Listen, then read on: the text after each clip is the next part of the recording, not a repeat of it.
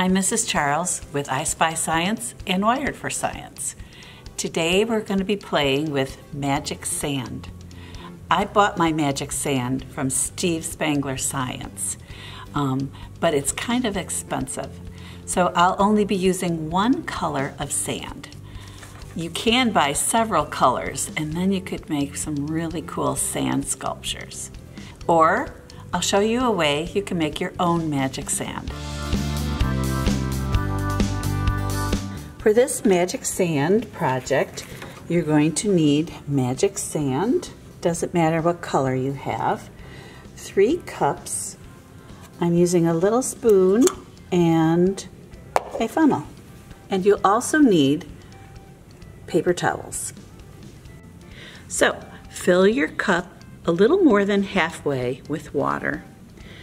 Now take your sand and pour very slowly, just a little bit in, and see how it floats on top.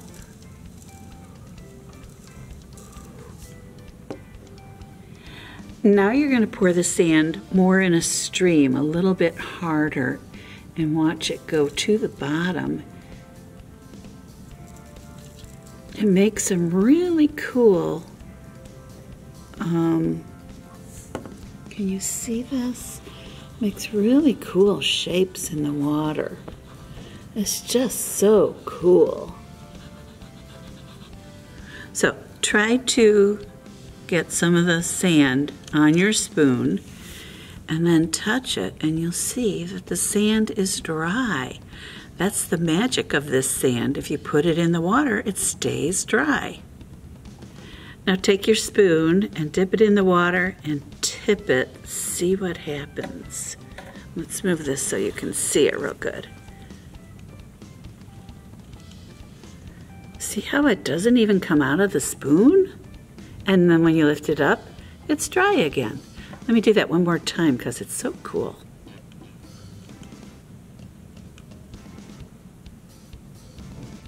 Now take your finger and put it in the floating sand. And just play around with it a little and see what. You can notice that my finger's wet, but the sand itself is dry. Now take your spoon and you can move the sand at the bottom. You can try and shape it. You can try and shape it into like a hill or a big mountain, or you could try and make a sand castle out of it, which I'll let you do because that's fun to play with. Now we're ready to separate the sand from the water. Slowly pour the water from the cup with the sand into the empty cup. You don't want to get the sand in there, just the water. So very carefully pour it in. Whoops, I got a little sand in there. Well, you will get a little bit of sand, but try not to get too much. Maybe I'll take my spoon. and try and use this to stop the the sand from coming out.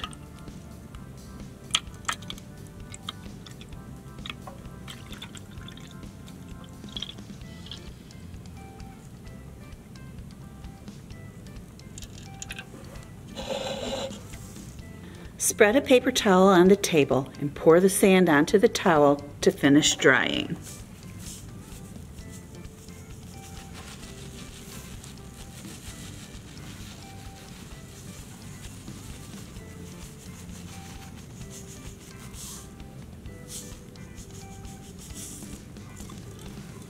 It only takes a, a, a, minute to dry. It's just all dry, and any water that was in it will be absorbed into the paper towel.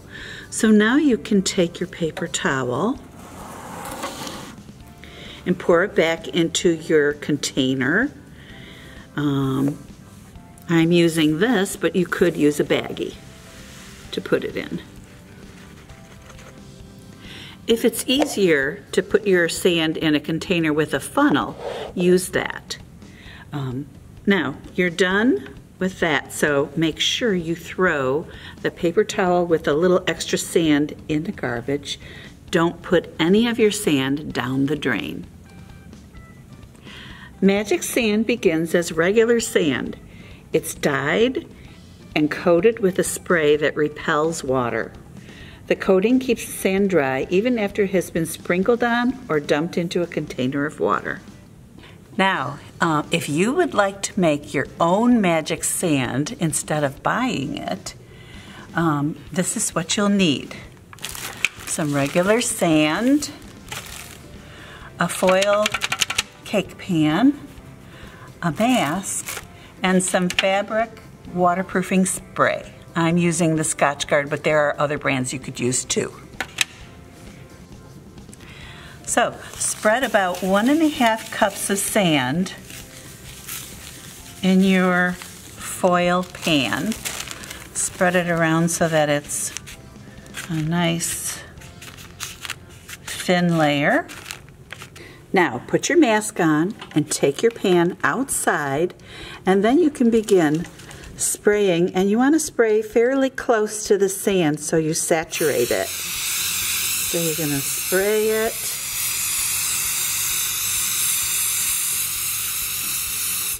Just like that.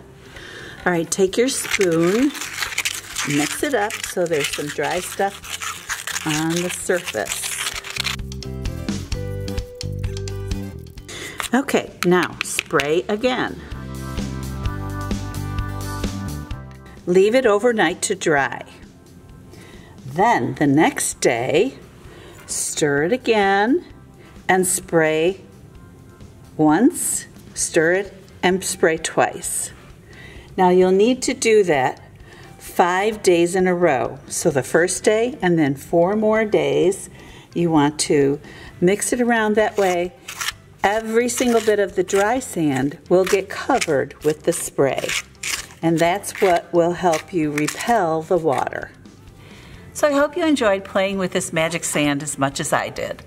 See you next time with I Spy Science and Wired for Science.